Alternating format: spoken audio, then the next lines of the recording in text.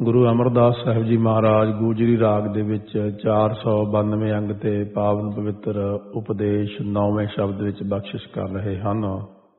ਸੋ ਇਹ ਪਾਠ ਜਿਸ ਪ੍ਰਕਾਰ ਉਚਾਰਨ ਕੀਤਾ ਹੈ ਗੂਜਰੀ ਮਹੱਲਾ ਤੀਜਾ। ਬਾਅਦ ਵਿੱਚ ਅਖਰੀ ਜੋ ਮਹਾਰਾਜ ਨੇ ਉਚਾਰਿਆ ਹੈ ਤੀਜਾ।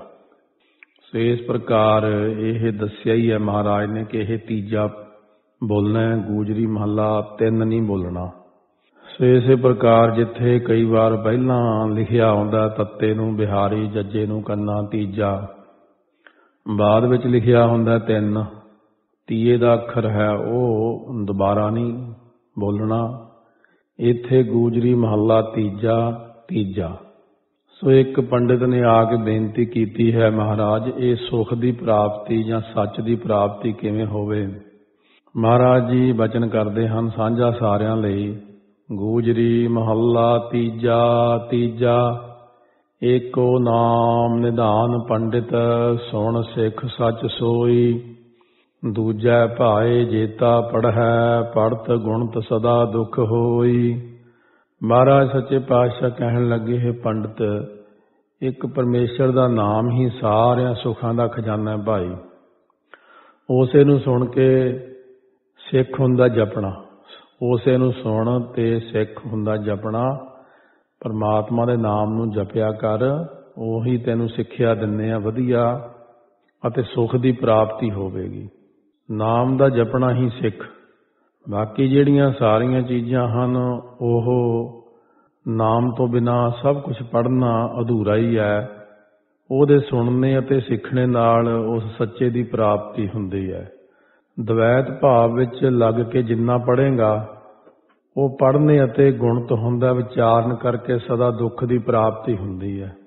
ਦਵੈਸ਼ ਭਾਵ ਵਿੱਚ ਇਉਂ ਲੋਕ ਪੜ੍ਹਦੇ ਨੇ ਜਿਵੇਂ ਵੀ ਮੈਂ ਉਹਦੇ ਨਾਲ ਹੋਰ ਜ਼ਿਆਦਾ ਪੜ੍ਹ ਜਾਣਾ, ਫਿਰ ਮੈਂ ਉਸ ਤੋਂ ਹੋਰ ਜ਼ਿਆਦਾ ਪੜ੍ਹ ਜਾਣਾ, ਪੜ੍ਹਾਈ 'ਚ ਹੀ ਉੱਤੇ ਉੱਠਣਾ ਮੈਂ। ਇਸ ਤਰ੍ਹਾਂ ਇੱਕ ਦੂਜੇ ਨਾਲ ਈਰਖਾ ਦਵੈਸ਼ ਬੰਦੇ ਦੇ ਅੰਦਰ ਵੱਧ ਹੀ ਜਾਂਦੀ ਹੈ। ਤਾਂ ਮਹਾਰਾਜ ਕਹਿੰਦੇ, ਇਹ ਚੀਜ਼ ਆਪਾਂ ਨਹੀਂ ਕਰਨੀ। ਕਿਸੇ ਨਾਲ ਈਰਖਾ, ਦਵੈਸ਼ ਨਹੀਂ ਕਰਨੀ। ਸ਼ਾਂਤੀ ਰਹਿੰਦੀ ਹੈ ਮਨ ਨੂੰ। ਹਰ ਚਰਣੀ ਤੂੰ ਲਾਗ ਰਹੋ, ਗੁਰ ਸ਼ਬਦ ਸੋਝੀ ਹੋਈ।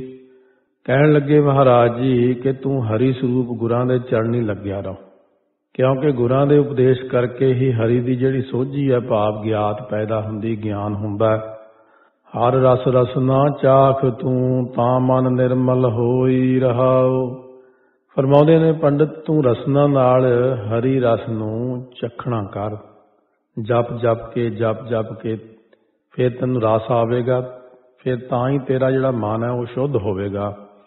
ਵਿਸ਼ਰਾਮ ਦੇ ਕੇ ਫਰਮਾਉਂਦੇ ਹਨ, ਸਤਿਗੁਰ ਮਿਲਿਆ ਮਨ ਸੰਤੋਖੀ ਸੰਤੋਖੀਐ ਤਾਂ ਫਿਰ ਤ੍ਰਿਸ਼ਨਾ ਭੂਖ ਨਾ ਹੋਏ।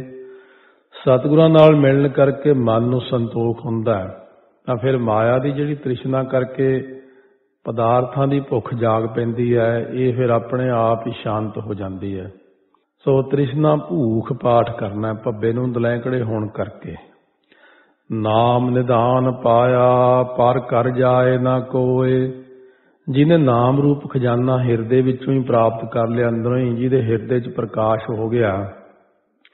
ਰਤਨ ਕੋਠੜੀ ਖੁੱਲੀ ਅਨੂਪਾ ਬਣ ਗਿਆ। ਉਹ ਕੋਈ ਫਿਰ ਪਰਾਏ ਘਰਾਂ 'ਚ ਨਹੀਂ ਜਾਂਦਾ ਦੇਵੀ ਦੇਵਤਿਆਂ ਕੋਲੇ। ਥਾਂ ਥਾਂ ਦੇ ਉੱਤੇ ਜਿਵੇਂ ਭਟਕਣਾ ਮੁੱਕ ਜਾਂਦੀ ਆ। ਇਹ ਅੱਜ ਕੱਲ ਵੀ ਸਾਰਿਆਂ ਵਾਸਤੇ ਉਪਦੇਸ਼ ਆ ਵੀ ਜਿਹੜਾ ਹਿਰਦੇ 'ਚ ਹੀ ਪ੍ਰਗਟ ਕਰ ਲੋ ਜਿੰਨੀ ਮਿਹਨਤ ਆਪਾਂ ਵੈਸੇ ਕਰਦੇ ਆ ਨਾ, ਦੁਨੀਆ 'ਚ ਇੱਧਰ ਉੱਧਰ ਭੱਜ ਕੇ, ਖਰਚੇ ਕਰ ਕਰਕੇ, ਅੱਜ ਦੀ ਦੁਨੀਆ ਜਿਹੜੀ ਆ, ਉੱਥੇ ਜਾ ਉੱਥੇ ਜਾ, ਥਾਂ ਥਾਂ ਭਟਕਣਾ ਜਿਹੜਾ ਇਹ ਬੰਦ ਕਰਕੇ, ਜੇ ਇੱਕ ਵਾਰੀ ਅੰਦਰ ਬਹਿ ਕੇ ਅਭਿਆਸ ਕਰਕੇ ਹਿਰਦੇ 'ਚ ਜੋਤ ਪ੍ਰਗਟ ਕਰ ਲਵੇ, ਫਿਰ ਤੁਹਾਡੇ ਕੋਲ ਸਭ ਆਉਣਗੇ। ਤੁਹਾਨੂੰ ਨਮਸਕਾਰਾਂ ਕਰਨੀਆਂ ਸਭ ਨੇ ਆ ਕੇ। ਕਥਨੀ ਬਦਨੀ ਜੇ ਕਰੇ ਮਨਮੁਖ ਬੂਝ ਨਾ ਹੋਏ, ਗੁਰਮਤੀ ਕਟ ਚਾਨਣਾ ਹਰ ਨਾਮ ਪਾਵੈ ਸੋਏ। ਮਹਾਰਾਜ ਜੀ ਕਹਿੰਦੇ, ਜੇ ਕੋਈ ਮਨਮੁਖ ਹੈ, ਉਹ ਕਥਨੀਆਂ ਕਰਦਾ ਕਵੀਸ਼ਰੀਆਂ ਹੁੰਦੀਆਂ ਕਰਦਾ, ਉਹ ਵੀ ਕਰ ਲਵੇ, ਤਾਂ ਉਹ ਕਿਸ ਪ੍ਰਕਾਰ ਫਿਰ ਉਹਨੂੰ ਪਰਮੇਸ਼ਰ ਦੀ ਬੂਝ ਨਹੀਂ ਆਉਂਦੀ, ਗਿਆਤ ਨਹੀਂ ਹੁੰਦੀ। ਗੁਰਾਂ ਦੀ ਸਿੱਖਿਆ ਦੁਆਰਾ ਜੋ ਪਰਮੇਸ਼ਰ ਦੇ ਨਾਮ ਨੂੰ ਪ੍ਰਾਪਤ ਕਰ ਲੈਂਦਾ ਹੈ ਉਹਦੇ ਘਟ ਹੁੰਦਾ, ਹਿਰਦੇ ਦੇ ਅੰਦਰ ਹੀ ਚਾਨਣਾ ਹੋ ਜਾਂਦਾ, ਗਿਆਨ ਹੋ ਜਾਂਦਾ ਹੈ। ਸੌਣ ਸ਼ਾਸਤਰ ਤੂੰ ਨਾ ਬੁੱਝਹੀ ਤਾਂ ਫਿਰ ਬਾ, ਸੋ ਇਸ ਪ੍ਰਕਾਰ ਦੁਬਾਰਾ ਕਰਦੇ ਆਂ ਸੁਣ ਸ਼ਾਸਤਰ ਤੂੰ ਨਾ ਬੁੱਝਹੀ ਤਾਂ ਫਿਰ ਹੈ ਬਾਰੋ ਬਾਰ। ਫਰਮਾਉਂਦੇ ਹਨ, ਪੰਡਤ ਤੂੰ ਸ਼ਾਸਤਰਾਂ ਨੂੰ ਸੁਣ ਕੇ ਵੀ ਆਪਣੇ ਸਰੂਪ ਨੂੰ ਨਹੀਂ ਬੁੱਝ ਹੀ ਸਮਝਦਾ। ਇਸੇ ਲਈ ਤੂੰ ਵਾਰੰਵਾਰ ਹੁੰਦਾ ਦਰ ਦਰ ਤੇ ਮੰਗਦਾ ਫਿਰਦਾ, ਬਾਰੋ ਬਾਰ। ਬਾਰੋ ਬਾਰ ਹੁੰਦਾ ਵੀ ਪਾਣੀ ਦੇ ਵਾਲੇ ਖਾਂਦਾ ਜਾਂ ਪਾਣੀ। ਐ ਉਬਾਲੇ ਖਾਂਦਾ ਫਿਰਦਾ, ਤ੍ਰਿਸ਼ਨਾ ਦਾ ਮਾਰਿਆ ਹੋਇਆ। ਬਾਰੋ ਬਾਰ ਹੁੰਦਾ ਵੀ ਰੇਤਾ ਤਪਦਾ ਬਾਰ-ਬਾਰ ਜੀਉ ਤਪਤ ਹੈ ਬਾਰੋ ਬਾਰ, ਤਪ ਤਪ ਕਪੈ ਬਹੁਤ ਬੇਕਾਰ। ਜੈ ਤਨ ਬਾਣੀ ਵਿਸਰ ਜਾਏ ਜਾਂ ਪੱਕਾ ਰੋਗੀ ਬਿਲ ਲਾਏ। ਸੋ ਮੂਰਖ, ਜੋ ਆਪ ਨਾ ਪਛਾਣਈ ਸੱਚ ਨਾ ਧਰੇ ਪਿਆਰ। ਮਹਾਰਾਜ ਜੀ ਫਰਮਾਉਂਦੇ ਨੇ, ਹੁਣ ਹੁਣ ਪੜਿਆ ਹੋਇਆ ਵੀ ਉਹ ਮੂਰਖ ਬਣ ਜਾਂਦਾ ਜੋ ਆਪਣੇ ਸਰੂਪ ਨੂੰ ਨਹੀਂ ਪਛਾਣਦਾ ਕਿ ਮੈਂ ਕੌਣ ਹਾਂ, ਕਿੱਥੋਂ ਆਇਆ, ਕਿੱਥੇ ਜਾਣਾ ਅਤੇ ਸੱਚ ਦੇ ਵਿੱਚ ਪਿਆਰ ਨਹੀਂ ਰੱਖਦਾ। ਪੜਨ ਦਾ ਅਸਲ ਮਤਲਬ ਹੁੰਦਾ ਹੈ, ਆਪਣੇ ਆਪ ਨੂੰ ਬੁੱਝਣਾ, ਸਮਝਣਾ ਮੈਂ ਕੌਣ ਆ ਕਿੱਥੋਂ ਆਇਆ ਹਾਂ। ਪਰ ਜੇ ਬੰਦਾ ਆਪਣੇ ਆਪ ਨੂੰ ਹੀ ਨਹੀਂ ਸਮਝਦਾ ਮੈਂ ਕੌਣ ਆ ਫਿਰ ਪੜੇ ਦਾ ਫਾਇਦਾ ਕੀ ਹੈ? ਜਿਵੇਂ ਮਹਾਪੁਰਖਾਂ ਕੋਲੇ ਬਾਬਾ ਸੁੰਦਰ ਸਿੰਘ ਜੀ, ਖਾਲਸਾ ਕੋਲੇ ਗੰਗਾ ਨਗਰ ਕੋਈ ਬੰਦਾ ਆਇਆ ਕਈ ਪ੍ਰਸ਼ਨ ਜੇ ਕੀਤੇ, ਉਹਦੇ ਜਵਾਬ ਸੁਣ ਲਏ, ਤਸੱਲੀ ਹੋ ਗਈ। ਮਹਾਪੁਰਖ ਕਹਿਣ ਲੱਗੇ, ਇੱਕ ਪ੍ਰਸ਼ਨ ਅਸੀਂ ਵੀ ਕਰੀਏ। ਕਹਿੰਦੇ, ਜੀ, ਹੁਕਮ ਕਰੋ, ਕਿੰਨੀ ਪੜਿਆ ਹੋਇਆ ਕਹਿੰਦੇ, ਜੀ, ਮੈਂ ਐਮਏ ਸੋ ਇਸ ਪ੍ਰਕਾਰ ਕਹਿੰਦੇ, ਤੂੰ ਕੌਣ ਹੈ? ਕੀ ਦੱਸ ਸਕਦਾ ਤੂੰ ਕੌਣ ਹੈ? ਕਹਿਣ ਲੱਗਿਆ, ਮੈਂ ਬੰਦਾ। ਨਹੀਂ ਬੰਦਾ ਨਹੀਂ ਆ ਤਾਂ ਬਾਹ ਹੋ ਗਈ ਇਹ ਲੱਤਾਂ ਇਹ ਸਿਰ ਹੈ, ਧਾੜ ਹੈ। ਬੰਦਾ ਕਿਹੜੀ ਚੀਜ਼ ਨੂੰ ਕਹਿੰਦੇ ਨੇ? ਸੋਚਣ ਲੱਗ ਪਿਆ। 10 ਮਿੰਟ ਸੋਚ ਕੇ ਕਹਿੰਦਾ, ਜੀ, ਮੈਨੂੰ ਨਹੀਂ ਸਮਝ ਲੱਗਦੀ ਇਸ ਗੱਲ ਦੀ। ਕਹਿੰਦੇ, ਤੂੰ ਐਵੇਂ ਨਹੀਂ ਤੂੰ ਐਵੇਂ ਹੀ ਆ। ਕਹਿੰਦੇ, ਮਹਾਰਾਜ ਜੀ, ਤੁਸੀਂ ਦੱਸੋ। ਕਹਿੰਦੇ, ਭਾਈ, ਬੰਦਾ ਹੋਏ ਸੋ ਬੰਦਗੀ ਕਹੈ। ਬੰਦਗੀ ਕਰਨ ਵਾਲੇ ਨੂੰ ਬੰਦਾ ਕਹਿੰਦੇ ਨੇ, ਇਸ ਕਰਕੇ ਹੈ ਭਾਈ, ਸਤਿਗੁਰੂ ਮਹਾਰਾਜ ਫਰਮਾਉਂਦੇ ਨੇ ਕਿ ਪੜਨ ਦਾ ਮਤਲਬ ਕੀ ਸੀ? ਆਪਣੇ ਆਪ ਨੂੰ ਪਹਿਚਾਨਣਾ।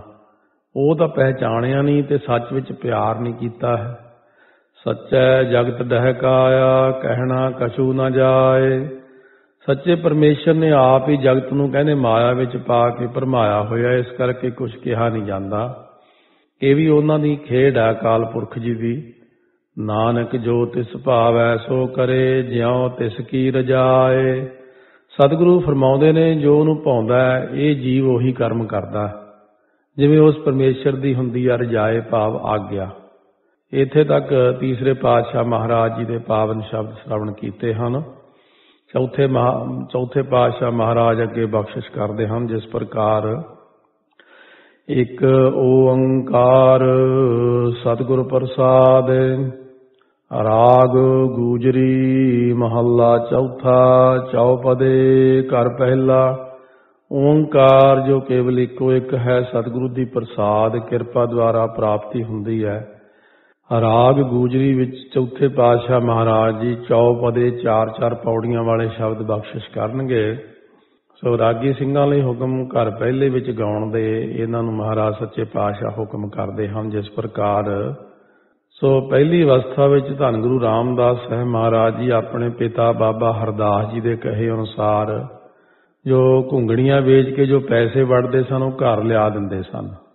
ਸੋ ਇੱਕ ਦਿਨ ਮਾਤਾ ਦਇਆ ਕੌਰ ਜੀ ਨੇ ਛੋਲੇ ਉਬਾਲ ਕੇ ਚੰਗੇਰ ਭਰ ਦਿੱਤੀ ਤਾਂ ਬਾਜ਼ਾਰ ਜਾ ਕੇ ਬੜੀ ਮਿੱਠੀ ਸੁਰ ਨਾਲ ਹੋਕਾ ਦਿੱਤਾ। ਇਹਨੇ ਨੂੰ ਭਗਵਾਨ ਆਪ ਪ੍ਰੀਖਿਆ ਲੈਣ ਵਾਸਤੇ ਕਿਸੇ ਸਾਧੂ ਦਾ ਰੂਪ ਧਾਰ ਕੇ ਸਾਹਮਣੇ ਆ ਕੇ ਖੜ ਗਏ। ਕਹਿਣ ਲੱਗੇ, ਭੁੱਖ ਲੱਗੀ ਹੋਈ, ਕੁਝ ਖਾਣ ਨੂੰ ਦਿਓ। ਮਹਾਰਾਜ ਜੀ ਨੇ ਉੱਥੇ ਹੀ ਛਾਬਾ ਰੱਖ ਕੇ ਉਹਨਾਂ ਨੂੰ ਇੱਕ ਬੁੱਕ ਭਰ ਕੇ ਦੇ ਦਿੱਤਾ। ਮਹਾਤਮਾ ਨੇ ਛੱਕ ਕੇ ਕਿਹਾ, ਇੱਕ ਬੁੱਕ ਹੋਰ ਦਿਓ। ਆਪ ਜੀ ਨੇ ਦੁਬਾਰਾ ਵੀ ਦੇ ਦਿੱਤਾ। ਤੀਜੀ ਵਾਰ ਮੰਗਿਆ, ਉਦੋਂ ਵੀ ਇਨਕਾਰ ਨਾ ਕੀਤਾ। ਇਸ ਤਰ੍ਹਾਂ ਕਈ ਵਾਰ ਮੰਗ ਕੇ ਸਾਰਾ ਛਾਬਾ ਮੁਕਾ ਦਿੱਤਾ। ਛਾਬੇ ਨੂੰ ਖਾਲੀ ਦੇਖ ਕੇ ਵਿਚਾਰਿਆ, ਹੁਣ ਘਰ ਕਿਵੇਂ ਜਾਈਏ? ਅੱਗੇੋਂ ਗੁੱਸੇ ਹੋਣਗੇ ਪਿਤਾ ਜੀ ਕਿਉਂ ਵੀ ਆਉਂਦਾ ਕਿ ਪਿਤਾ ਜੀ ਤਾਂ ਚੜ੍ਹਾਈ ਕਰ ਚੁੱਕੇ ਸਨ ਮਾਤਾ ਪਿਤਾ ਪਰ ਨਾਨਾ ਜੀ ਸਨ। ਇਸ ਤਰ੍ਹਾਂ ਵੀ ਇਤਿਹਾਸ ਵਿੱਚ ਜ਼ਿਕਰ ਆਉਂਦਾ ਹੈ।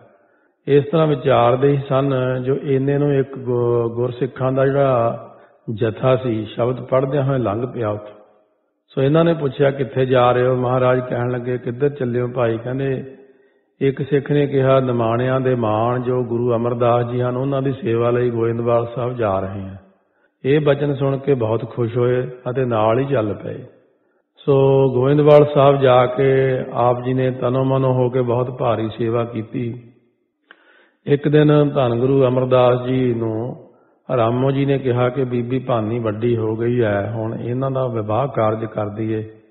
ਇਹ ਬਚਨ ਸੁਣ ਕੇ ਮਹਾਰਾਜ ਨੇ ਉਹਨਾਂ ਟਾਈਮਾਂ ਦੇ ਵਿੱਚ ਪ੍ਰੋਹਤ ਹੁੰਦੇ ਸੀ, ਉਹਨਾਂ ਨੂੰ ਬੁਲਾ ਕੇ ਕਿਹਾ, ਬੀਬੀ ਲਈ ਕੋਈ ਵਰ ਦਾ ਪਤਾ ਲਿਆਓ ਘਰਦਾਰ ਦੇਖੋ, ਚੰਗਾ ਕੋਈ। ਮਹਾਰਾਜ ਜੀ ਤੋਂ ਇਹ ਬਚਨ ਸੁਣ ਕੇ ਜਿਸ ਵੇਲੇ ਪ੍ਰੋਹਤ ਉੱਠਿਆ, ਤਾਂ ਟੋਕਰੀ ਚੁੱਕ ਕੇ ਮਹਾਰਾਜ ਸੱਚੇ ਪਾਤਸ਼ਾਹ ਉੱਥੇ ਰੇਤੇ ਦੀ ਸੇਵਾ ਮਿੱਟੀ ਦੀ ਕਰਦੇ ਸੀ। ਸਾਹਮਣੇ ਬੈਠੇ ਹੋਏ ਸਨ। ਜੋ ਘੜੀ ਆਰਾਮ ਕਰਨ ਵਾਸਤੇ ਦੇਖ ਕੇ ਕਹਿਣ ਲੱਗਿਆ, ਉਹ ਭਾਈ ਜੇਠਾ ਜੀ ਜਾਂਦੇ ਨੇ, ਇਹ ਜਿਹਾ ਕੋਈ ਲਿਆਵਾਂ ਲੱਭ ਕੇ? ਮਹਾਰਾਜ ਸੱਚੇ ਪਾਤਸ਼ਾਹ ਕਹਿਣ ਲੱਗੇ, ਇਹ ਜਿਹਾ ਤਾਂ ਇਹੀ ਆ, ਫਿਰ ਹੋਰ ਤਾਂ ਇਹਨਾਂ ਵਰਗਾ ਹੈ ਨਹੀਂ ਕੋਈ। ਇਹਨਾਂ ਨੂੰ ਬੁਲਾ ਲਿਓ ਸੋ ਉਸੇ ਵੇਲੇ ਬ੍ਰਾਹਮਣ ਭਾਈ ਜੇਠੇ ਨੂੰ ਮਹਾਰਾਜ ਦੇ ਪਾਸ ਬੁਲਾ ਲਿਆ ਆ। ਮਹਾਰਾਜ ਨੇ ਪੁੱਛਿਆ, ਤੂੰ ਕਿਸ ਦਾ ਪੁੱਤਰ ਹੈ ਭਾਈ? ਇਸ ਪ੍ਰਕਾਰ ਮਾਤਾ ਪਿਤਾ ਕਿੱਥੇ ਰਹਿੰਦੇ ਨੇ? ਭਾਈ ਜੇਠਾ ਜੀ ਨੇ ਕਿਹਾ, ਮੇਰਾ ਨਾਮ ਰਾਮਦਾਸ ਹੈ, ਪਿਤਾ ਦਾ ਨਾਮ ਬਾਬਾ ਹਰਦਾਸ ਜੀ ਹੈ। ਜਾਤ ਸੋੜ ਬੰਸ ਹੈ, ਲਾਹੌਰ ਦੇ ਰਹਿਣ ਵਾਲਾ। ਸੋ ਇਹ ਬਚਨ ਸੁਣ ਕੇ ਪ੍ਰਸੰਨ ਹੋਏ, ਇੱਕ ਪੱਤਰਕਾਰ ਲਾਹੌਰ ਲਿਖ ਕੇ ਇਹਨਾਂ ਦੇ ਮਾਪਿਆਂ ਨੂੰ ਸਦਵਾ ਲਿਆ। ਫਿਰ ਸ਼ਗਨ ਦੇ ਕੇ ਵਿਆਹ ਆਦਿਕ ਦੀ ਗੱਲ ਪੱਕੀ ਕਰ ਲਈ। ਜਿਸ ਵੇਲੇ ਵਿਆਹ ਕਰਨ ਲੱਗਿਆ ਖਾਰਿਆਂ ਦੇ ਉੱਤੇ ਉਠਾਇਆ ਤਾਂ ਗੁਰੂ ਅਮਰਦਾਸ ਜੀ ਨੇ ਕਿਹਾ, ਇਹ ਪੁਰਖਾ ਜੋ ਕੁਝ ਮੰਗਣਾ ਮੰਗ ਲਾ। ਇਹ ਬਚਨ ਸੁਣ ਕੇ ਗੁਰੂ ਰਾਮਦਾਸ ਸਾਹਿਬ ਮਹਾਰਾਜ ਨੇ ਬਚਨ ਕੀਤਾ। ਹਰ ਕੇ ਜਨ ਸਤਗੁਰ ਸਤਪੁਰਖਾ ਹਉ ਬਿਨਾ ਕਰੋ ਗੁਰ ਪਾਸ। हे ਗੁਰਮੁਖ ਜਨਾਂ ਨੂੰ ਹਰੀ ਦੇ ਜਨਾਉਣ ਵਾਲੇ ਸਤਿਗੁਰੂ ਗੁਰੂ ਅਮਰਦਾਸ ਸਾਹਿਬ ਮਹਾਰਾਜ, ਸੱਚੇ ਪਾਤਸ਼ਾਹ, ਆਪ ਸਤਪੁਰਖਾ ਹੋ, ਪਰਮੇਸ਼ਰ ਰੂਪ ਹੋ। हे ਗੁਰੂ ਸਾਹਿਬ ਜੀ, ਮੈਂ ਹੱਥ ਜੋੜ ਕੇ ਆਪ ਦੇ ਪਾਸੋਂ ਇੱਕ ਬੇਨਤੀ ਕਰਦਾ ਜੀ, ਤੇ ਇੱਥੇ ਰਹਿ ਰਾਸ ਵਾਲਾ ਇਹ ਸ਼ਬਦ ਤਾਂ ਹੈ, ਪਰ ਇਹਦੇ ਵਿੱਚ ਥੋੜਾ ਜਿਹਾ ਦੁਬਾਰਾ ਲਿਖਣ ਕਰਕੇ ਮਹਾਰਾਜ ਨੇ ਹਉ ਬਿਨੋ ਕਰੋ ਗੁਰ ਪਾਸ ਲਿਖਿਆ ਬਚਨ। ਸੁਣ ਕੇ ਕੋਈ ਭੁਲੇਖਾ ਨਾ ਖਾਵੇ ਤੇ ਨਾ ਹੀ ਸ਼ਬਦ ਪੋਥੀ ਦੇ ਉੱਤੋਂ ਕਈ ਵਾਰੀ ਮਹਾਰਾਜ ਦੇ ਸਰੂਪ ਤੋਂ ਠੀਕ ਕਰਨ ਦਾ ਯਤਨ ਨਾ ਕਰੇ ਕਿਉਂਕਿ ਇਸੇ ਤਰ੍ਹਾਂ ਹੀ ਲਿਖਿਆ ਹੋਇਆ ਹੈ। ਹਮ ਕੀਰੇ ਕਿਰਮ ਸਤਗੁਰ ਸਰਣਾਈ ਕਰ ਦਇਆ ਨਾਮ ਪਰਗਾਸ। ਅਸੀਂ ਆਪ ਜੀ ਦੇ ਕੀਰੇ ਕਿਰਮ ਜੀ ਦਾਸਾਂ ਦੇ ਦਾਸ ਆਹੇ ਸਤਿਗੁਰੂ। ਆਪ ਜੀ ਦੇ ਚਰਨਾਂ ਦੀ ਸ਼ਰਨ ਵਿੱਚ ਆਏ ਹਾਂ ਮਹਾਰਾਜ ਜੀ। ਜੇ ਕਿਰਪਾ ਦੇ ਘਰ ਵਿੱਚ ਆਏ ਹੋ ਤਾਂ ਆਪ ਕਿਰਪਾ ਦ੍ਰਿਸ਼ਟੀ ਕਰਕੇ ਨਾਮ ਦਾ ਪ੍ਰਕਾਸ਼ ਕਰੋ। ਸਤਿਗੁਰੂ ਗੁਰੂ ਅਮਰਦਾਸ ਮਹਾਰਾਜ ਨੇ ਬਚਨ ਕੀਤਾ, ਇਹ ਵਿਆਹ ਦਾ ਮੌਕਾ, ਕੋਈ ਸੰਸਾਰਕ ਵਸਤੂ ਮੰਗ ਲਓ। ਸੋ ਇਹ ਗੱਲ ਸੁਣ ਕੇ ਜੋ ਨਾਮ ਪਹਿਲਾਂ ਸੀ ਭਾਈ ਜੇਠਾ ਜੀ, ਉਸ ਵਕਤ ਬਚਨ ਕੀਤਾ ਭਾਈ ਜੇਠਾ ਜੀ ਨੇ, ਮੇਰੇ ਮੀਤ ਗੁਰਦੇਵ, ਮੋਕੋ RAM ਨਾਮ ਪ੍ਰਗਾਸ ਫਰਮਾਉਂਦੇ ਹਨ, ਮੇਰੇ ਅਸਲੀ ਮਿੱਤਰ ਗੁਰਦੇਵ ਜੀਓ, ਪਿਤਾ ਜੀਓ, ਮੈਨੂੰ RAM ਨਾਮ ਦਾ ਹੀ ਪ੍ਰਕਾਸ਼ ਕਰੋ ਜੀ। ਪ੍ਰਕਾਸ਼ ਰੂਪ ਜੋ RAM ਪਰਮੇਸ਼ਰ ਹੈ ਉਹਦਾ ਨਾਮਦਾਨ ਮੈਨੂੰ ਆਪ ਕਿਰਪਾ ਕਰਕੇ ਬਖਸ਼ਣਾ ਕਰੋ। ਸੋ ਇਹ ਬਚਨ ਸੁਣ ਕੇ ਧੰਨ ਗੁਰੂ ਅਮਰਦਾਸ ਸਾਹਿਬ ਮਹਾਰਾਜ ਨੇ ਬਚਨ ਕੀਤਾ RAM ਨਾਮ ਤਾਂ ਤੁਸੀਂ ਪਹਿਲਾਂ ਹੀ ਜਪਦੇ ਹੋ, ਇਸ ਵੇਲੇ ਤੁਸੀਂ ਕੁਝ ਹੋਰ ਚੀਜ਼ ਮੰਗ ਲਓ। ਫੇਰ ਬਚਨ ਕੀਤਾ ਗੁਰਮਤ ਨਾਮ ਮੇਰਾ ਪ੍ਰਾਨ ਸਖਾਈ, ਹਰ ਕੀਰਤ ਹਮਰੀ ਰਹਿ ਰਾਸ ਰਹਾਓ हे ਗੁਰਦੇਵ ਪਿਤਾ ਜੀ ਗੁਰ ਸਿੱਖਿਆ ਅਨੁਸਾਰ ਜੋ RAM ਨਾਮ ਜਪਣਾ ਨਾ, ਇਹ ਮੇਰੇ ਪ੍ਰਾਣਾਂ ਦਾ ਸਖਾਈ ਹੈ। ਸਖਾਈ ਹੁੰਦਾ ਮਿੱਤਰ, ਉਹ ਵੀ ਪੱਕਾ ਮਿੱਤਰ। ਫੇਰ ਸਤਿਗੁਰੂ ਅਮਰਦਾਸ ਮਹਾਰਾਜ ਨੇ ਸੰਸਾਰਕ ਮਰਿਆਦਾ ਅਨੁਸਾਰ ਭੱਲਿਆਂ ਵਿੱਚ ਜਵਾਈਆਂ ਨੂੰ ਕੁਝ ਪਦਾਰਥ ਦੇਣ ਦੀ ਰੀਤੀ ਚੱਲੀ ਆਈ ਹੈ। ਉਹ ਪੂਰੀ ਕਰਨੀ ਹੋਈ, ਇਸ ਲਈ ਤੂੰ ਕੋਈ ਚੀਜ਼ ਹੋਰ ਮੰਗ ਲੈ। ਗੱਲ ਸੁਣ ਕੇ ਫੇਰ ਮਹਾਰਾਜ ਸੱਚੇ ਪਾਤਸ਼ਾਹ ਨੇ ਸੰਸਾਰਕ ਪਦਾਰਥਾਂ ਦੀ ਮੰਗ ਨਹੀਂ ਕੀਤੀ। ਸੋ ਅੰਤਰੀ ਵਸਤੂ ਮੰਗੀ ਕਿ ਮਹਾਰਾਜ, ਹਰੀ ਦੀ ਜੋ ਕੀਰਤੀ ਕਰਨੀ ਹੈ, ਇਹੀ ਸਾਡੀ ਰਹਿ ਰਾਸ ਦਾ ਭਾਵ ਹੈ ਕਿ ਰਹੁ ਰੀਤੀ ਹੈ। ਇਹੋ ਸਾਡੀ ਰਾਸ ਹੈ, ਪੂੰਜੀ ਹੈ, ਰਹਿ ਆਵੇ, ਇਹ ਪੂੰਜੀ ਰਹਿ ਜੇ ਬਸ। ਇਹੀ ਮੰਗਦੇ ਹਾਂ ਜੀ, ਵਿਸ਼ਰਾਮ ਦੇ ਕੇ ਫਰਮਾਉਂਦੇ ਨੇ। ਹਰ ਜਨ ਕੇ ਵਡ ਭਾਗ ਵਡੇਰੇ, ਜਿਨ ਹਰ ਹਰ ਸਰਦਾ ਹਰ ਪਿਆਸ। हे ਹਰੀ ਦੇ ਜਨ ਸਤਿਗੁਰ ਮਹਾਰਾਜ, ਸੱਚੇ ਪਾਤਸ਼ਾਹ, ਉਹਨਾਂ ਵਾਹਿਗੁਰੂ ਜਨਾਂ ਦੇ ਭਾਗ ਵੱਡਿਆਂ ਤੋਂ ਵੱਡੇ ਹਨ ਰੱਬ ਦੇ ਪਿਆਰਿਆਂ ਦੇ। ਹਰੀ ਜਨਾਂ ਦੇ, ਜਿਨ੍ਹਾਂ ਨੂੰ ਹਰ ਹਰ ਦੀ ਸ਼ਰਧਾ ਤੇ ਹਰੀ ਦੀ ਪਿਆਸ ਹੈ। ਜਿਨ੍ਹਾਂ ਨੂੰ ਹਰ ਇੱਕ ਜੀਵਾਂ ਨੂੰ ਹਰਿਆ ਕਰਨ ਵਾਲਾ ਜੋ ਵਾਹਿਗੁਰੂ ਹੈ, ਉਹਦੀ ਸ਼ਰਧਾ ਦੀ ਪਿਆਸ ਹੈ। ਸੋ ਹਰ ਤੋਂ ਭਾਵ ਕੇ ਸਾਰਿਆਂ ਨੂੰ ਹਰੇ ਭਰੇ ਕਰਨ ਵਾਲਾ। ਹਰ ਹਰ ਨਾਮ ਮਿਲੈ ਤ੍ਰਿਪਤਾਸ ਹੈ ਮਿਲ ਸੰਗਤ ਗੁਣ ਪ੍ਰਗਾਸ।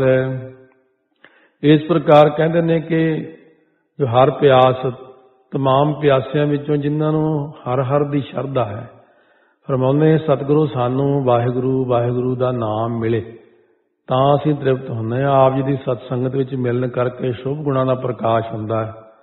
ਪ੍ਰਕਾਸ਼ ਰੂਪ ਗੁਣਾਂ ਦੀ ਪ੍ਰਾਪਤੀ ਹੁੰਦੀ ਹੈ।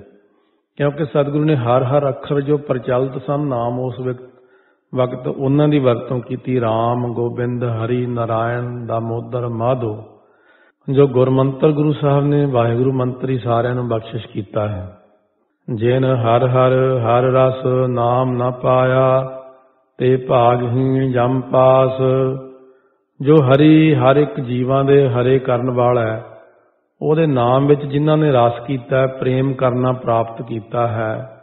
ਪ੍ਰੇਮ ਕਰਨਾ ਜਿਨ੍ਹਾਂ ਨੇ ਨਹੀਂ ਪਾਇਆ, ਕਹਿੰਦਾ ਉਹ ਭਾਗਹੀਣ ਪੁਰਸ਼ ਜਮਾਂ ਦੇ ਕੋਲ ਚਲੇ ਜਾਂਦੇ ਨੇ, ਜਮਾਂ ਦੀ ਪਾਸ ਹੁੰਦੀ ਫਾਹੀ ਵਿੱਚ ਫਸ ਜਾਂਦੇ ਜਾ ਕੇ।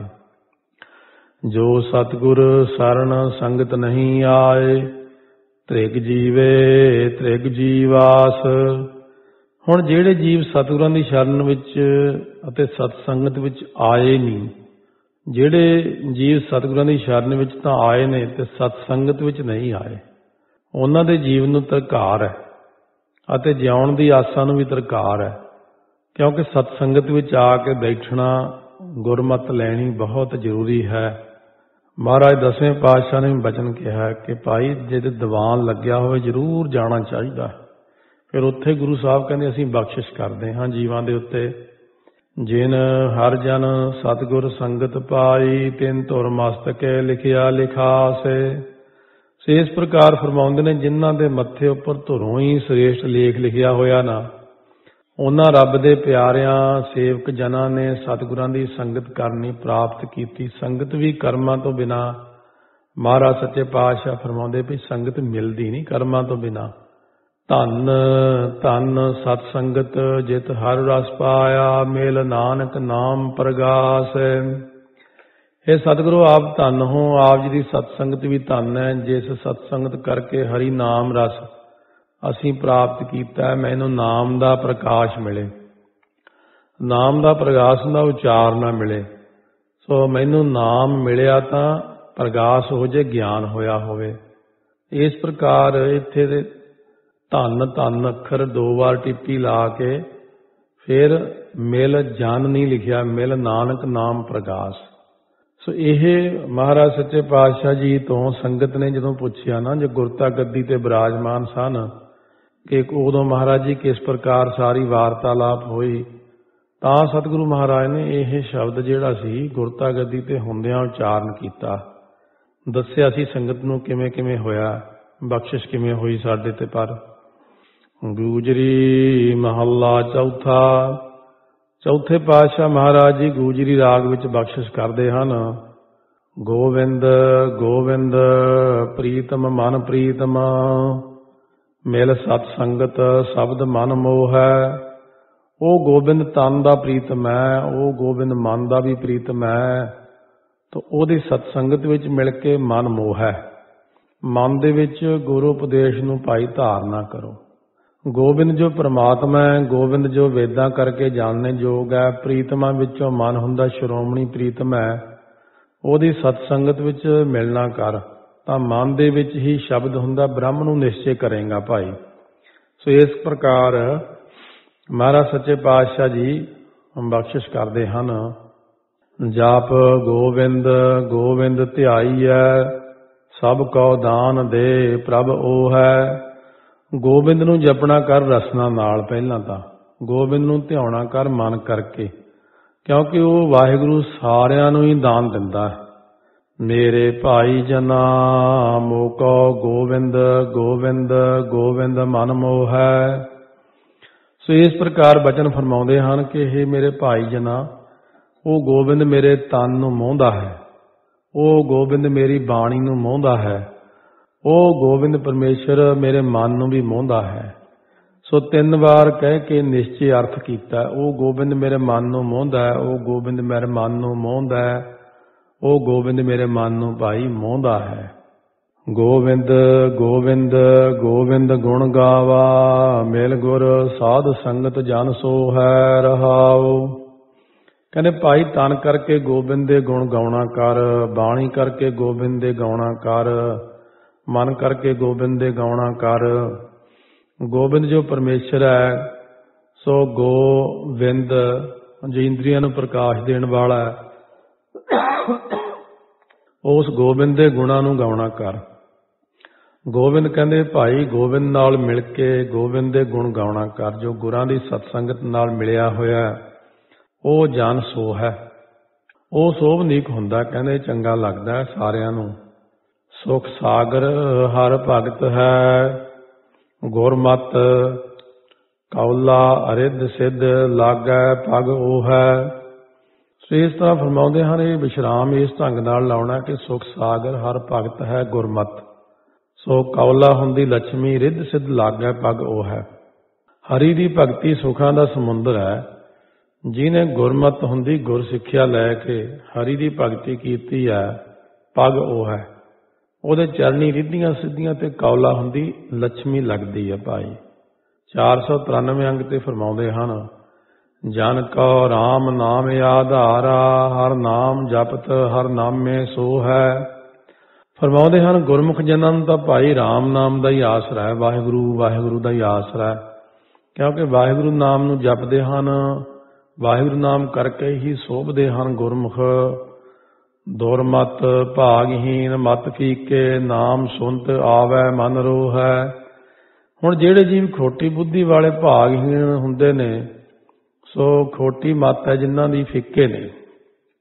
ਉਹ ਪੁਰਸ਼ ਕਹਿੰਦੇ ਮਤ ਦੇ ਵੀ ਫਿੱਕੇ ਹੁੰਦੇ ਨੇ, ਨਾਮ ਨੂੰ ਸੁਣਦੇ ਆ ਉਹਨਾਂ ਨੂੰ ਆਨੰਦ ਹੀ ਨਹੀਂ ਆਉਂਦਾ, ਸਗੋਂ ਮਨ ਵਿੱਚ ਰੋਹਾ, ਗੁੱਸਾ ਆਉਂਦਾ ਕੂੜ ਕਪਟ ਅਹੰਕਾਰ ਦੀ ਜਾਨਾ, ਨਾਮ ਸੁਨਤ ਜਨ ਵਿਛੂ ਡਸਾਨਾ ਉਹ ਬੰਦੇ ਜਿਹੜੇ ਨੇ ਮੈਂ ਕਦੇ ਨਹੀਂ ਸਤਸੰਗਤ 'ਚ ਬੈਠੇ ਦੇਖੇ। ਉਹ ਬਾਹਰ ਖੜ ਕੇ ਨਿੰਦਿਆ ਕਰਨਗੇ, ਪਰੇ ਜਾ ਕੇ ਕੁਝ ਹੋਰ ਬੋਲੀ ਜਾਣਗੇ। ਗੁਰੂ ਘਰ ਆਉਂਦੇ ਜ਼ਰੂਰ ਹੈ ਮਹਾਰਾਜ ਨੇ ਪਹਿਲਾਂ ਵੀ ਕਿਹਾ, ਸਤਸੰਗਤ ਵਿੱਚ ਨਹੀਂ ਆਉਂਦੇ। ਆਏ, ਮੱਥਾ ਟੇਕੇ, ਲੰਗਰ 'ਚ ਬਹਿ ਜਾਣਾ ਜਾਂ ਤਾਂ ਉੱਥੇ ਗੱਲਾਂ ਬਾਤਾਂ ਕਰਨੀਆਂ ਜਾਂ ਪਰੇ ਹੋ ਕੇ। ਜੇ ਕਿਤੇ ਉਹ ਭਾਗਾਂ ਨਾਲ ਸਤਸੰਗਤ 'ਚ ਬਹਿਣ ਲੱਗ ਜਾਣ, ਉਹ ਵੀ ਸੁਧਰ ਜਾਣ। ਕਊਆ ਕਾਗ ਕਉ ਅੰਮ੍ਰਿਤ ਰਸ ਪਾਈਐ, ਤ੍ਰਿਪਤੈ ਵਿਸਟਾ ਖਾਏ ਮੁਖ ਗੋਹੈ। ਕਊਆ ਜੋ ਕਾਂ ਕਾਂ ਸ਼ਬਦ ਕਰਨ ਵਾਲਾ ਹੁੰਦਾ ਕਊਆ ਦੇਸੀ ਕਾਂ, ਕਾਗ ਹੁੰਦਾ ਪਹਾੜੀ ਕਾਂ। ਉਹਨੂੰ ਡੋਡਰ ਕਾਂ ਵੀ ਕਹਿੰਦੇ ਨੇ। ਕਹਿੰਦੇ ਇਹਨੂੰ ਜੇ ਅੰਮ੍ਰਿਤ ਰਸ ਵਰਗੀਆਂ ਮਿੱਠੀਆਂ ਮਿੱਠੀਆਂ ਚੀਜ਼ਾਂ, ਦੁੱਧ ਵਗੈਰਾ ਵੀ ਪਾਈਏ, ਤਾਂ ਵੀ ਉਹਨਾਂ ਚੰਗੀਆਂ ਚੀਜ਼ਾਂ ਨੂੰ ਛੱਡ ਕੇ ਗੰਦਗੀ ਖਾ ਕੇ ਰੱਜਦਾ। ਗੋ ਹੈ ਪਾਠ ਕਰਨਾ, ਗੋ ਹੈ ਨਹੀਂ ਕਰਨਾ, ਗੋ ਹੈ। ਤੇ ਮੂੰਹ ਤੋਂ ਕਾਂ ਕਾਂ ਹੁੰਦਾ, ਗੋ ਹੈ ਪਾਪ ਬੋਲਦਾ। ਇਸੇ ਪ੍ਰਕਾਰ ਕਾਂ ਵਾਂਗੂ ਪਾਪੀ ਬੰਦੇ ਨੂੰ ਨਾਮ ਅੰਮ੍ਰਿਤ ਰਸ ਪਾਉਣਾ ਵੀ ਕਰੀਏ। ਉਹਨੂੰ ਕਹੀ, ਆ ਜਾ ਭਾਈ, ਕਥਾ ਚੱਲਦੀ ਹੈ ਲੜੀਵਾਰ ਕਥਾ ਇਹ। ਵਿੱਚ ਸੰਥਿਆ ਵੀ ਹੋਈ ਜਾਂਦੀ ਹੈ ਅਰਥਾਂ ਦਾ ਗਿਆਨ ਵੀ ਹੁੰਦਾ ਪਰ ਉਹ ਪਤਾ ਨਹੀਂ ਰੱਬ ਨੇ ਬਣਾਏ ਕਿਦਾਂ ਦੇ ਆ, ਉਹ ਨਾ ਆਉਣਗੇ ਕਦੇ ਵੀ। ਉਹ ਵਿਸ਼ਿਆਂ ਰੂਪੀ ਵਿਸਤਾ ਗੂੰ ਖਾ ਕੇ ਹੀ ਕਹਿੰਦੇ ਤ੍ਰਿਪਤ ਹੁੰਦਾ ਹੈ। ਤੇ ਮੂੰਹ ਦੇ ਖੋਟੇ ਬਚਨਾਂ ਨੂੰ ਗੋਹਾ ਉਚਾਰਦਾ ਮੂੰਹ ਤੋਂ ਬੜੇ ਭੈੜੇ ਭੈੜੇ ਬਚਨ ਬੋਲਦਾ ਕਥਾ ਵਾਸਤੇ ਕੀਰਤਨ ਵਾਸਤੇ ਬਹੁਤ ਨਿੰਦਿਆ ਕਰਦਾ ਅੰਮ੍ਰਿਤ ਸਰ ਸਤਗੁਰ ਸਤਵਾਦੀ ਜਿਤ ਨਾਤੈ ਕਊਆ ਹੰਸ ਹੋ ਹੈ ਸਤਵਾਦੀ ਜੋ ਅ, ਸਤਿਗੁਰੂ ਗੁਰੂ ਅਮਰਦਾਸ ਸਾਹਿਬ ਮਹਾਰਾਜ ਜੀ ਹਨ ਜਿਨ੍ਹਾਂ ਨੇ ਹੁਕਮ ਦੇ ਕੇ ਪ੍ਰਤੱਖ ਅੰਮ੍ਰਿਤ ਸਰੋਵਰ ਰਚਿਆ ਹੈ। ਸੋ ਜਿਸ ਜਿਸ ਦੇ ਵਿੱਚ ਇਸ਼ਨਾਨ ਕਰਦਿਆਂ ਕਾਂ ਵੀ ਹੰਸ ਹੋ ਜਾਂਦਾ ਪ੍ਰਤੱਖ ਦੇਖਿਆ ਹੀ ਹੈ ਉਦੋਂ। ਜਦੋਂ ਬੀਬੀ ਰਜਨੀ ਆਈ ਸੀ ਉੱਥੇ ਤੇ ਉਹਦਾ ਪਤੀ ਕੋਹੜੀ ਸੀ, ਉਹਨੇ ਦੇਖਿਆ ਹੀ ਸੀ। ਫੇਰ ਹੀ ਉਹ ਵੜਿਆ ਸੀ ਸਰੋਵਰ ਦੇ ਵਿੱਚ। ਸਤਵਾਦੀ ਹੁੰਦਾ ਸੱਚਾ ਵਚਨ ਉਚਾਰਨ ਵਾਲੇ ਜੋ ਸਤਿਗੁਰੂ ਗੁਰੂ ਅਮਰਦਾਸ ਸਾਹਿਬ ਮਹਾਰਾਜ ਹਨ, ਨਾਮ ਅੰਮ੍ਰਿਤ ਦੇ ਸਰੋਵਰ। ਜਿਸ ਵਿੱਚ ਇਸ਼ਨਾਨ ਕਰਨ ਨਾਲ ਕਾਂ ਵਾਂਗੂ ਪਾਪੀ ਜੀਵ, ਹੰਸ ਵਾਂਗੂ ਤਤਵੇਤਾ ਬ੍ਰਹਮ ਗਿਆਨੀ ਮਹਾਤਮਾ ਹੋ ਜਾਂਦਾ। ਹੈ ਕਹਿਣ ਦਾ ਭਾਵ ਅਰਥ ਹੈ ਕਿ ਸਤਿਗੁਰੂ ਮਹਾਰਾਜ ਦੀ ਸੰਗਤ ਕਰਨ ਨਾਲ ਤੇ ਉਹਨਾਂ ਦੇ ਉਪਦੇਸ਼ ਨੂੰ ਹਿਰਦੇ 'ਚ ਧਾਰਨ ਕਰਕੇ ਪਾਪੀ ਜੀਵ ਵੀ ਗੁਰਮੁਖ ਬੰਦਾ ਬਣ ਜਾਂਦਾ ਹੈ। ਨਾਨਕ ਧਨ ਧਨ ਵੱਡੇ ਵਡਭਾਗੀ, ਜਿਨ ਗੁਰਮਤ ਨਾਮ ਹਿਰਦੈ ਮਲ ਧੋਹੈ ਮਹਾਰਾਜ ਜੀ ਫਰਮਾਉਂਦੇ ਉਹ ਜੀਵ ਧੰਤਾ ਯੋਗ ਵੱਡਿਆਂ ਤੋਂ ਵੱਡੇ ਭਾਗਾਂ ਵਾਲੇ ਆ ਭਾਈ। ਜਿਨ੍ਹਾਂ ਨੇ ਗੁਰੂ ਸਾਹਿਬ ਮਹਾਰਾਜ ਦੀ ਸਿੱਖਿਆ ਦੁਆਰਾ ਨਾਮ ਜਪ ਕੇ ਹਿਰਦੇ ਦੀ ਪਾਪਾਂ ਰੂਪੀ ਮੈਲ ਨੂੰ ਧੋ ਲਿਆ ਜਿਨ੍ਹਾਂ ਨੇ। ਪਹਿਲਾਂ ਸਿੱਖਿਆ ਲੈ ਲਈ ਗੁਰੂ ਸਾਹਿਬ ਜੀ ਮਹਾਰਾਜ ਜੀ ਤੋਂ, ਫਿਰ ਉਹਨਾਂ ਤੇ ਪਾਵਨ ਬਖਸ਼ਿਸ਼ ਹੋਈ ਹੈ। ਉਹ ਵੀ ਕਹਿੰਦੇ ਕਾਂ ਤੋਂ ਬਗਲਿਆਂ ਤੋਂ ਹੰਸ ਰੂਪ ਧਾਰਨ ਕਰਦੇ ਨੇ। ਗੂਜਰੀ ਮਹੱਲਾ ਚੌਥਾ। ਹਰ ਜਨ ਊਤਮ ਊਤਮ ਬਾਣੀ ਮੁਖ ਬੋਲੇ, ਪਰ ਉਪਕਾਰੇ। ਹਰੀ ਦੇ ਜਿਹੜੇ ਭਗਤ ਜਨ ਉੱਤਮ ਨੇ, ਉਹਨਾਂ ਦੀ ਬਾਣੀ ਜਿਹੜੀ ਆ, ਉਹ ਭਾਈ ਬਹੁਤ ਉੱਤਮ ਹੁੰਦੀ, ਮਿਠਾਸ ਵਾਲੀ ਹੁੰਦੀ, ਕਿਉਂਕਿ ਉਹ ਮੂੰਹੋਂ ਪਰਉਪਕਾਰ ਦੇ ਹੀ ਬਚਨ ਬੋਲਦੇ ਨੇ। ਜੋ ਜਨ ਸੁਣੈ, ਸਰਦਾ ਭਗਤ ਸੇਤੀ, ਕਰ ਕਿਰਪਾ ਹਰ ਨਿਸਤਾਰੇ। ਜਿਹੜੇ ਕੋਈ ਵੀ ਗੁਰਮੁਖ ਉਹਨਾਂ ਦੇ ਬਚਨਾਂ ਨੂੰ ਸ਼ਰਧਾ ਤੇ ਭਗਤੀ ਨਾਲ ਸੁਣਦੇ ਨੇ, ਉਹਨਾਂ ਨੂੰ ਹਰੀ ਕਿਰਪਾ ਕਰਕੇ ਸੰਸਾਰ ਸਮੁੰਦਰ ਤੋਂ ਪਾਰ ਉਤਾਰ ਲੈਂਦਾ, ਵਾਹਿਗੁਰੂ। ਆਪ ਕਿਰਪਾ ਕਰਦੇ ਨੇ। ਆਰਾਮ ਮੋਕਉ ਹਰ ਜਨ ਮੇਲ ਪਿਆਰੇ। ਸੋ ਇਹਦਾ ਵਿਸ਼ਰਾਮ ਰਾਮ ਤੇ ਹੀ ਆਉਣਾ ਰਾਮ ਮੋਕਉ ਹਰ ਜਨ ਮੇਲ ਪਿਆਰੇ। ਮੇਰੇ ਪ੍ਰੀਤਮ ਪ੍ਰਾਨ ਸਤਗੁਰ ਗੁਰ ਪੂਰਾ, ਹਮ ਪਾਪੀ ਗੁਰ ਨਿਸਤਾਰੇ ਰਹਾਓ ਕਹਿੰਦੇ हे ਪਿਆਰੇ RAM ਮੈਨੂੰ ਹਰੀ ਜਨਾਂ ਨਾਲ ਮਿਲਣਾ ਕਰ। ਹੈ ਰਮੇ ਹੋਏ ਪਰਮੇਸ਼ਰ, ਕਿਰਪਾ ਕਰੋ। ਗੁਰੂ ਹੁੰਦਾ ਪੂਜਨੀਕ। ਸੋ ਗੁਰ ਤੋਂ ਭਾਵ ਹੁੰਦਾ ਪੂਜਨੀਕ ਜੋ ਨੇ ਨਾ ਪੂਰੇ ਸਤਿਗੁਰੂ ਹੀ ਮੇਰੇ ਪ੍ਰਾਣਾਂ ਦੇ ਪ੍ਰੀਤਮ ਪਿਆਰੇ ਨੇ। ਕਹਿੰਦੇ, ਸਾਨੂੰ ਪਾਪੀਆਂ ਨੂੰ ਗੁਰਾਂ ਨੇ ਹੀ ਨਿਸਤਾਰੇ ਭਾਵ ਤਾਰਨਾ ਕੀਤਾ। ਰਹਾਓ ਵਿਸ਼ਰਾਮ ਦੇ ਕੇ ਫਰਮਾਉਂਦੇ ਹਨ। ਗੁਰਮੁਖ ਵਡ ਭਾਗੀ ਵਡ ਜਿਨ ਹਰ ਹਰ ਨਾਮ ਆਧਾਰੇ। ਉਹ ਗੁਰਮੁਖ ਵੱਡੇ ਭਾਗਾਂ ਵਾਲਿਆਂ ਤੋਂ ਵੀ ਵੱਡਿਆਂ ਭਾਗਾਂ ਵਾਲੇ ਨੇ ਭਾਈ। ਜਿਨ੍ਹਾਂ ਨੂੰ ਹਰ ਹਰ ਨਾਮ ਦਾ ਆਧਾਰੇ ਹੁੰਦਾ ਆਸਰਾ ਹੈ। ਹਰ ਹਰ ਅੰਮ੍ਰਿਤ, ਹਰ ਰਸ ਪਾਵ ਹੈ ਗੁਰਮਤ ਭਗਤ ਭੰਡਾਰੇ। ਉਹ ਹਰੀ ਦੇ ਹਰ ਹਰ ਨਾਮ ਅੰਮ੍ਰਿਤ ਨੂੰ, ਰਸ ਨੂੰ ਪ੍ਰਾਪਤ ਕਰਦੇ ਨੇ, ਗੁਰ ਸਿੱਖਿਆ ਲੈਣ ਕਰਕੇ ਉਹਨਾਂ ਦੇ ਅੰਤःਕਰਨ ਰੂਪ ਭੰਡਾਰੇ ਭਗਤੀ ਨਾਲ ਭਰੇ ਹੋਏ ਨੇ। ਜਿਨ ਦਰਸ਼ਨ ਸਤਗੁਰ ਸਤਪੁਰਖ ਨਾ ਪਾਇਆ, ਤੇ ਭਾਗਹੀਣ ਜਮ ਮਾਰੇ। ਹੁਣ ਜਿਹੜੇ ਇਨਸਾਨ ਨੇ ਸਤਪੁਰਖ, ਪਰਮੇਸ਼ਰ ਰੂਪ ਸਤਗੁਰਾਂ ਦਾ ਦਰਸ਼ਨ ਨਹੀਂ ਪਾਇਆ ਉਸ ਭਾਗਾਂ ਤੋਂ ਹੀਣੇ ਨੂੰ ਕਹਿੰਦੇ ਜਮਦੂਤ ਬਹੁਤ ਮਾਰਦਾ ਦਰਸ਼ਨ ਕਰਨ ਸੰਗਤ ਵਿੱਚ ਨਹੀਂ ਆਇਆ।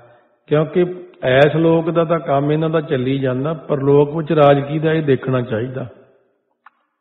ਪਰਲੋਕ ਦਾ ਮਾਲਕ ਤੇ ਐਸ ਲੋਕ ਦਾ ਮਾਲਕ ਸਤਿਗੁਰੂ ਹੀ ਆ ਇੱਥੇ ਤਾਂ ਚਲੋ ਆਪਣੀਆਂ ਮਨਮਾਨੀਆਂ ਚੱਲ ਗਈਆਂ। ਅੱਗੇ ਪਰਲੋਕ ਵਿੱਚ ਨਹੀਂ ਚੱਲਣਾ ਕੁਝ ਵੀ ਉੱਥੇ ਜਾ ਕੇ। ਮਹਾਰਾਜ ਸੱਚੇ ਪਾਤਸ਼ਾਹ ਫਰਮਾਉਂਦੇ, ਦੇਖੋ ਉਹਨਾਂ ਦੀ ਸਜ਼ਾ ਕਿੱਡੀ ਵੱਡੀ ਹੈ। ਸੇ ਕੂਕਰ ਸੂਕਰ ਗਰਦਬ ਪਵੈ ਗਰਭ ਜੋਨੀ, ਦੈ ਮਾਰੇ ਮਹਾ ਹਤਿਆਰੇ। ਕਹਿੰਦੇ ਉਹ ਪੁਰਸ਼ ਜਿਹੜੇ ਨਾ ਦੈ ਤੋਂ ਭਾਵ ਹੁੰਦਾ ਪ੍ਰੇਰਕ। ਪਰਮੇਸ਼ਰ ਦੇ ਮਾਰੇ ਹੋਏ ਮਹਾ ਹਤਿਆਰੇ ਹੁੰਦੇ ਵੱਡੇ ਪਾਪੀ। ਕੂਕਰ ਜਿਵੇਂ ਕੁੱਤੇ ਨੂੰ ਕਹਿੰਦੇ ਸੂਕਰ ਸੂਰ ਤੇ ਗਰਦ ਖੋਤੇ ਦੀ ਗਰਭ ਜੋਨੀ ਚ ਪੈਂਦੇ ਜਾ ਕੇ। ਸੰਤ ਕਾ ਨਿੰਦਕ ਮਹਾ ਹਤਿਆਰਾ, ਸੰਤ ਕਾ ਨਿੰਦਕ ਪਰਮੇਸ਼ਵਰ ਮਾਰਾ। ਦੀਨ ਦਇਆਲ ਹੋ ਜਨ ਉਪਰ, ਕਰ ਕਿਰਪਾ ਲਿਹੋ ਉਬਾਰੇ। ਨਾਨਕ ਜਨ ਹਰ ਕੀ ਸਰਣਾਈ ਹਰ ਭਾਵੈ ਹਰ ਨਿਸਤਾਰੇ। ਸੋ ਹੈ ਵਾਹਿਗੁਰੂ, ਮੈਂ ਦੀਨ ਗਰੀਬ ਹਾਂ ਜੀ, ਮੈਂ ਦੀਨ ਜਨ ਦੇ ਉੱਪਰ ਆਪ ਦਿਆਲੂ ਹੋਵੋ ਮਹਾਰਾਜ ਜੀ। ਅਤੇ ਕਿਰਪਾ ਕਰਕੇ ਮੈਨੂੰ ਤਾਰ ਲਵੋ ਜਾਂ ਬੇਨਤੀਆਂ ਕਰਨੀਆਂ ਮਹਾਰਾਜ ਚਰਨਾਂ 'ਚ। ਮਹਾਰਾਜ ਫਰਮਾਉਂਦੇ ਹਨ, ਮੈਂ ਜਨ, ਹੈ ਹਰੀ ਵਾਹਿਗੁਰੂ ਜੀ, ਆਪ ਦੀ ਸ਼ਰਨ ਵਿੱਚ ਆਇਆ ਜੀ। ਹੈ ਹਰ ਹਰ ਜੀ, ਜੇਕਰ ਆਪ ਜੀ ਨੂੰ ਭਾ ਜਾਵੇ ਮਹਾਰਾਜ, ਤਾਂ ਮੈਨੂੰ ਤਾਰ ਲਓ ਜੀ। ਇਉਂ ਬੇਨਤੀਆਂ ਕਰੀ ਕਰੀਦੀ ਨਿਮਰਤਾ ਨਾਲ ਜੇ ਕੁਝ ਲੈਣਾ।